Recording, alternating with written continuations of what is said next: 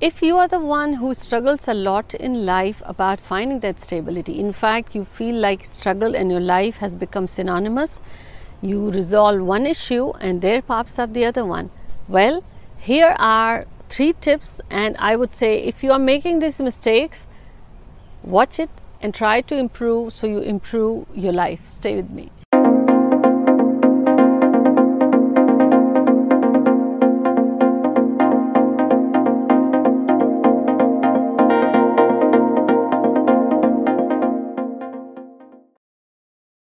Hi everyone, this is Jaya Karamchandani. Welcome to Invincible Passion Talk Show, where every week we share here some thoughts and insights and suggestions for you to have a balanced life.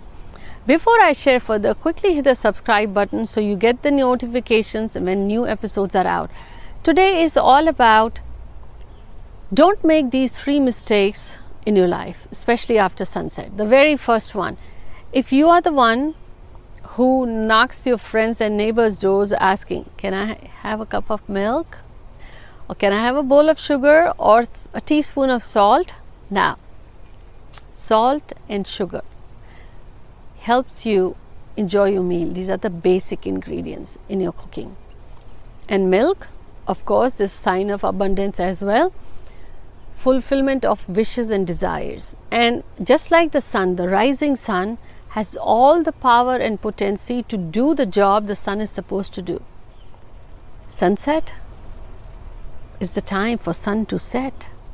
Just like when someone is in power, people hoard around that powerful personality because they expect they'll get some favors or being associated with a powerful person, you may gain some power too. But nobody calls a person who has no power just like the sun sets. So, after sunset, that is another sign in your life, it's time to now just watch around. If you give away your basic ingredients, salt and sugar and milk, then you will face struggles in your life. You feel like the struggles are never disappearing one way or the other, you are struggling, whether it's your neighbor or your friend.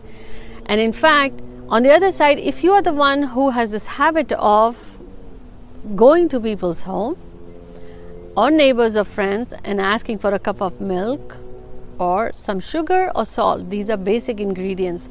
Think of if you're asking from others, whether before sunset or after sunset. That shows lack and dependency on others.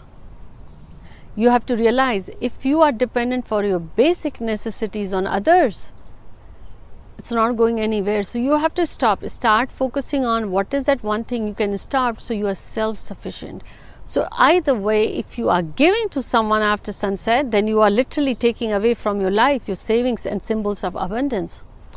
The basic necessity that means you have pulled from your basic necessities to give away, and that too after sunset means when there is the need, the sun is no longer in power. That means things are changing. And if you're the one who borrows, either way, it's not good. Secondly, if you're the one who comes from work in the evening, opens the house door, or brings the car keys and just throws everywhere, instead of throwing everywhere, find a dedicated space, hang the keys. Keys are just think of a tool for you to have access to your luxuries or comforts like your house, like access to opportunities, your car. So, if you are putting them anywhere and everywhere, then what happens opportunities are not coming to you fully cooked. They are dispersed and they will make you run around and chase them just like you're looking for your keys. Rather than having it in a place when you hang it starts to activate the plan the area where you are presented with multiple opportunities and you decide which one is the right one. You rather be in that place versus running around so be careful when you throw your keys everywhere in your looking, find a dedicated space. And here's the third one, which I have seen is going to absolutely make changes in your life your wallet. You come from work, and guys, especially you, you come from work and you throw your wallet anywhere. Just keep it on the kitchen counter or the bedside or in your closet, and you are looking, where is my wallet?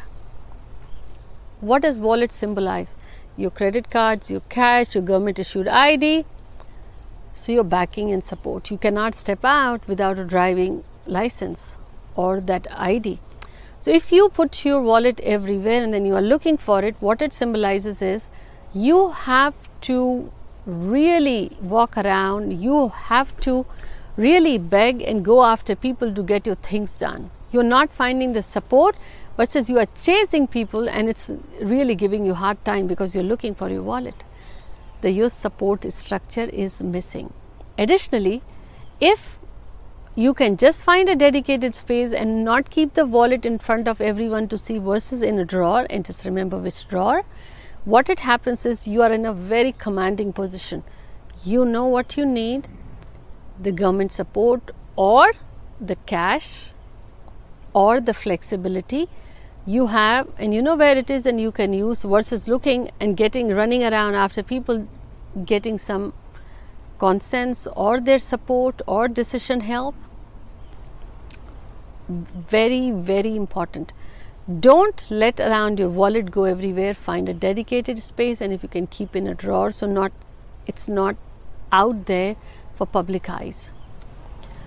Just like your precious things. If you take care of it take care of your wallet these tips are absolutely amazing and if you feel in your life you have constant struggles make these few changes and let me know what you observed but don't forget to share this with your friends and family, and I'll see you soon.